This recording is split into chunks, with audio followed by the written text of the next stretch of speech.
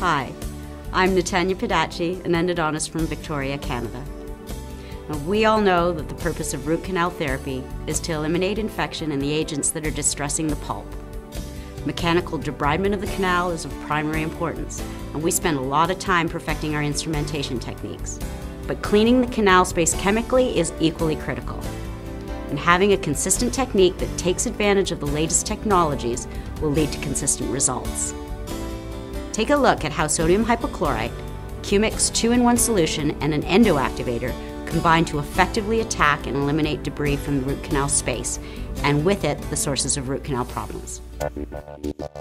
Prepare for patient use with a thorough review of literature, video demonstrations, and whenever possible, using practice blocks or extracted teeth to get a feel for the new equipment or material being used.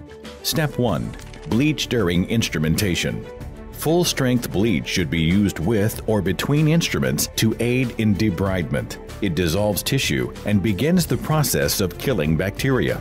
A syringe of bleach with a side-vented pro-rinse needle expresses the irrigant laterally into the canal to protect against extruding the material apically.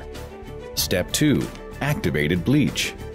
The endo activator is used in conjunction with a final bleach cycle to debride and disinfect both the instrumented and untouched areas of the canal, where instruments and inactivated solutions can't go.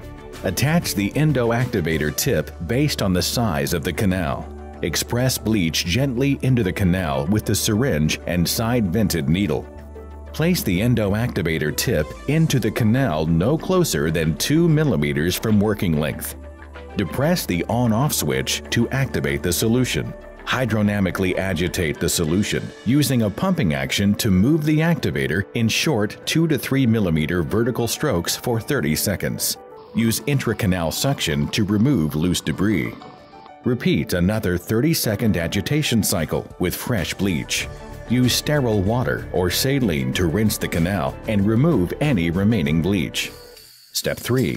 Final rinse.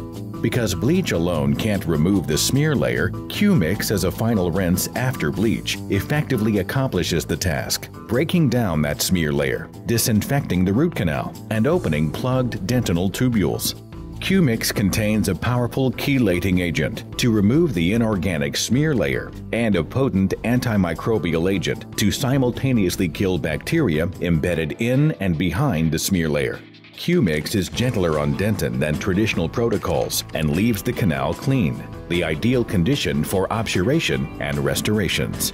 Shake or agitate the Qmix 2-in-1 container. Avoid creating excessive bubbles or foam inside the container. Fill a syringe with Qmix 2-in-1 and attach a Pro-Rinse irrigation needle to the syringe. Insert the needle into the canal being treated, no more than 2 millimeters from the apex. Express Qmix 2-in-1 into the canal and irrigate for 60 to 90 seconds. Suction Qmix 2-in-1. Done. Qmix removes smear layer, bacteria, and doubt in one easy step, clearing the way for a complete 3D fill.